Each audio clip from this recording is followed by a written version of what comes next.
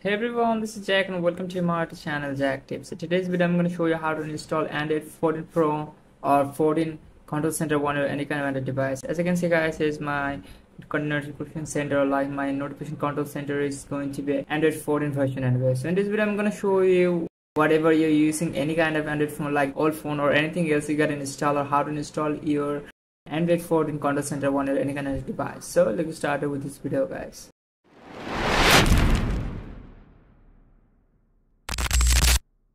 Well guys the very first thing you need to do is go and open up your play store from your phone. As you can see guys in play store anywhere you're going to tap the source box here I'm going to be type android control center.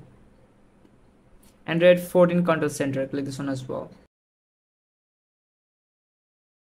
When you are going to be click this one as well as you can see the android control center click this one as well. And you're going to be install this apps from your phone anyway and wait for a couple of times. It could be different for internet connection as well so just make sure about that you have a stable connection as well. As you can see it's my old notification control center anyway. And i'm gonna download but i'm gonna install android 14 control center style as well.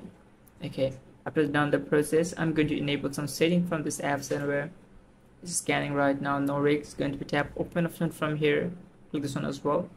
All right they're going to be interface here and it's going to be enabled. As you can see they look like here's my old here's my present right now. They all look like this one. I'm going to be tap next option from here again to next here also next I'm going to be tap next again again.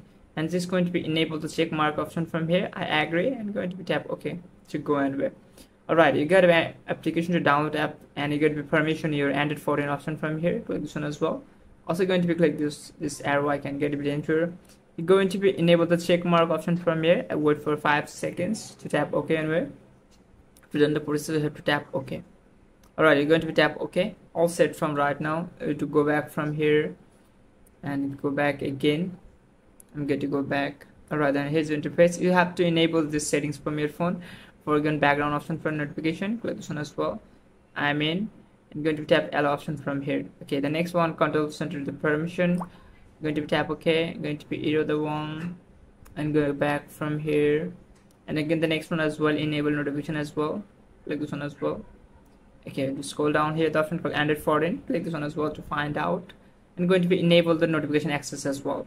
Okay. You're going to be again the enable the check mark as well. I put for five second or six second more. Tap to ok anyway done the process. I'm going to tap ok all right you're going to be all set from here. Now go back from here. Okay all set. You're going to be tap next option from here.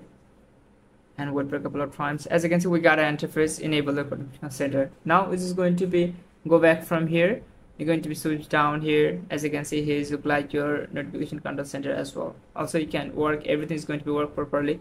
You can also change the color as well. You're going to be tap open the apps from your phone. I'm going to tap open the apps. And also you can choose the color as well. Scroll down here. Now I'm going to be tap the customize option from here. Going to tap the kitchen color as well. Use the wallpaper icon color. Choose this one as well. You can choose like orange whatever you want also you can choose anything whatever you want. I'm going to choose orange option from here. A couple of times okay tap rate. Tap ok option as you can see the selected color as well. Also you can choose the color of the background as well. Go back. Now going to be switched down here. As you can see the color is going to be changed to orange and so guys here's a process how to install android 14 notification control center one or any kind of android device. And you can get a feel your iphone or android 14 control center or any kind of old android device anyway so guys here's the process. Is this video will be helpful for you? Don't forget to subscribe my channel and stay with us. Thanks for watching guys